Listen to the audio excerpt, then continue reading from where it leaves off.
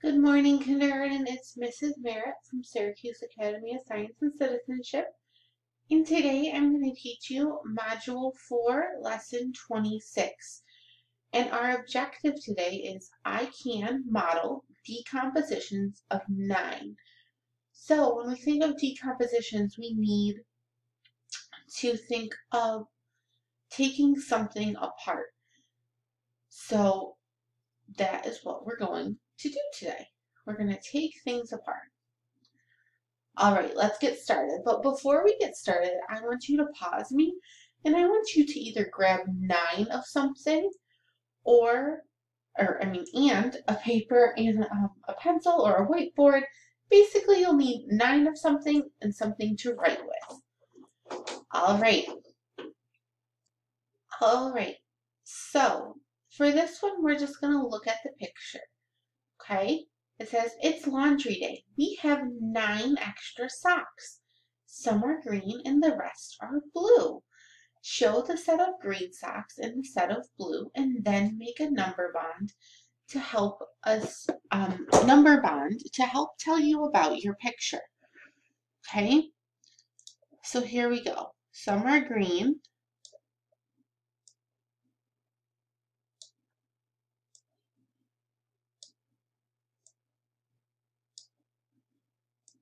and then we'll put some blue ones in there. But remember, we only have nine extra, so we're not going to go above the number nine. Okay, let's count.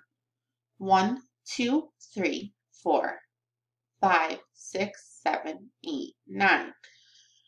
Okay, obviously, there is more than one way to do that, and that's what we're going to learn about today, is the different ways to decompose the number nine. So the first thing we did was we figured out there are nine in whole. And then our two parts are the green ones and the blue ones. So let's count the green ones. One, two, three, four. Then let's count the blue ones. One, two, three, four, five. So this is what our number bond would look like. To represent 9 as our whole, we have 4 green socks, so that's one of our parts, and we have 5 blue socks, which is another part.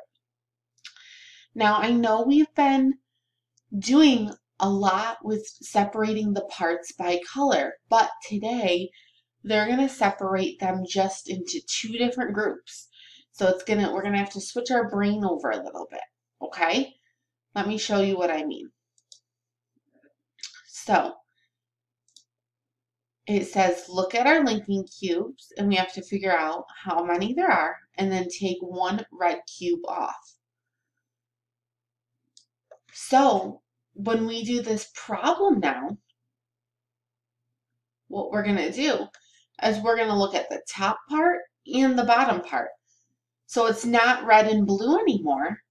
It's the top part and the bottom part. So you have to pay super close attention when you're doing your problems to figure out if they want to separate the groups by colors or if they want you to separate the groups in another way. Let's get started with this. So I want you, if you are at home and you have nine of something, I want you to take out nine things, okay? If you don't have nine things available, can you please draw me nine things on your paper and pause me? All right, so here we go. It said, look at our linking cubes. I'm going to move this one back until it tells me to move it again. How many cubes are in our stick? Well, let's count.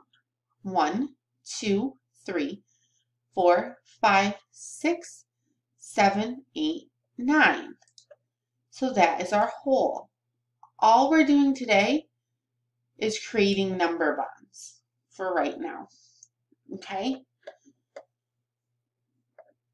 Then it says take off one red linking cube. Okay? Now we have to figure out our two parts. Now how many did we take away? Just this one, so that's one of our parts. And then let's count our top part. One, two, three, four, five, six, seven, eight. There are two parts. I know it's tricky because it's not like we've been separating with the red and the blue, and we're separating with the top and the bottom, but stick with me and I promise it'll be easier to understand, okay? Go ahead and put your nine things back together. Okay, now pull that one back down. And now it wants us to take another one down with the other red cube. So let's count our whole, and then we'll do our two parts. Here we go. One, two, three, four, five, six, seven, eight, nine. So nine is our whole. How many cubes do we have up here? Let's check. One, two, three, four, five, six, seven. It's our other part. And then how many cubes do we have down here? One, two. Okay, I want you to leave everything the way it is and then just make a new number bond. We're going to go on to the next problem, but I want you to leave these two cubes down here. Okay. Now it says to take another cube off and put it with the other two cubes. Do you think we still have nine cubes in total? Well, let's check. One, two, three, four, five, six, seven, eight, nine. We sure do. Just because we move things around doesn't mean the whole changes. It just the two parts are changing right now. I want you to pause me and I want you to go ahead and I want you to write in the two parts. All right, let's see what we got. So I'm going to count this top part first. One, two, three, four, five, six. That's one of my parts. And then I have one, two, three is my other part. Is that what you got? Awesome if you did, and if you didn't, we'll just keep practicing. It's a little bit tricky to get used to not separating things by colors and just separating them into two different parts now. Let's go to our next one. Okay, so for this one, what I'm going to do is I'm just going to move the cube down. It says to move one more down. And I want you to pause me and I would like you to create the number bond. Go ahead. All right, so I'm just going to double count this, but I'm pretty sure we still have nine because we just moved something around. Let's count. One, two, three, four, five, six, seven, eight, nine. Okay, so we still have nine. Now let's see what our two parts are. One, two, three, four, five. And one, two, three, four.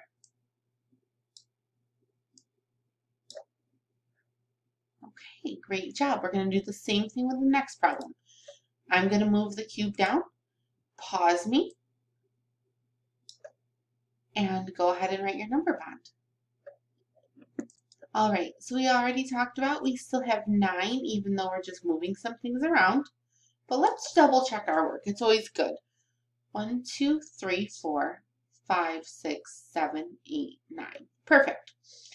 All right. Now let's count these cubes up top. One, two, three, four. Now notice I didn't call them just the blue cubes. Even though they're blue, that's great, but look at, I have a blue cube down here, so I can't refer to my groups as blue and red anymore, okay? That's why I called them the cubes up top. Let's look at the cubes down below. One, two, three, four, five. All right, now, if you are ready for a super challenge, here's what I want you to do. I want you to pause and I want you to write an either an addition sentence using your number bond or a subtraction sentence with your number bond and submit it to your teacher for an extra dojo point for this number bond. When you're all done, unpause me and we'll go right to the next one. All right, here we go. We're moving one more down. And let's write our number bond. Go ahead and pause me and begin writing. I can't wait to see who does the number sentence challenge. That will be so exciting. Okay, we've already talked about, we have nine as our whole. We're just moving some things around. Let's see how many we have on top. One, two, three.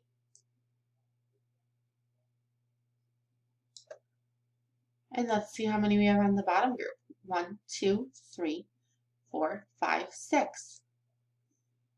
Here is what your number bond should look like. If you'd like to do that challenge again and create an addition sentence or a subtraction sentence, go ahead and pause me, and then when you're ready, go to the next problem. All right, we're going to move one more down. Go ahead and pause and do your number sentence. You guys are doing great with this. I have a question.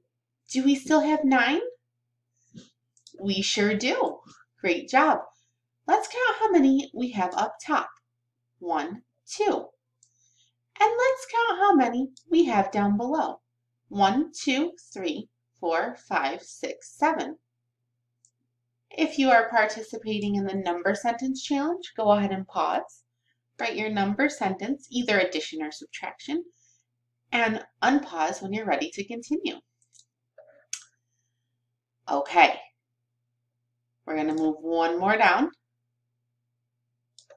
go ahead and write that number sentence, or not that number sentence, fill in your number bond, and we'll go over that. We just move things around, so we still have how many? Nine. Very good. How many are up top here? Just one.